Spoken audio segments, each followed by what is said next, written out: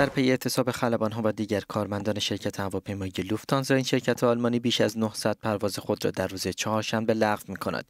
به گفته این شرکت پرواز بیش از 100 هزار مسافر با تأخیر یا با لغو مواجه خواهد بود.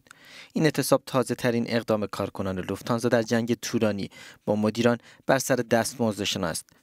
اختلاف نظر بین کارکنان یورو وینگز و مدیران لوفتانزا در موضوع دیگری باعث شده که این شرکت وابسته به لوفتانزا هم بیش از 60 پرواز خود را در روز سه‌شنبه لغو کند. یکی از مسافران می‌گوید حقوق کارکنان در هفت سال گذشته زیاد نشده اما قیمت بلیت زیاد می شود. منطقی است که انتظار داشته باشیم حقوق آنها هم زیاد شود. حالا هر چقدر می‌خواهد باشد. یکی دیگر از مسافران می‌گوید مشکل اینجاست که در نهایت این مسافران هستند که مجازات می‌شوند. ما می‌خواستیم به زاگرب برویم اما حالا زمان آزاد تعطیلاتمان از دست می رود.